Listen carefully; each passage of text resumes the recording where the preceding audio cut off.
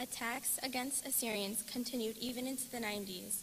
On January 13, 1993, five Assyrians were shot and butchered by Kurdish Turks in the city of Mizizah. Exactly three years later, on January 13, 1996, Wasan Michal, a 16-year-old girl from Semele, was kidnapped by armed Turks. She was threatened and forced to renounce her Christian faith. She was then forced to marry one of the kidnappers. The attackers were identified and have been found. The information was brought to the attention of local government officials, but there has been no investigation. The criminals were, brought to just, were never brought to justice. A similar incident took place a week later as Janet Oshana, a 13-year-old girl, was kidnapped by a man named Khurshid Uthman Galash near Zakho. The kidnapper was identified, and again, all information was sent to the authorities.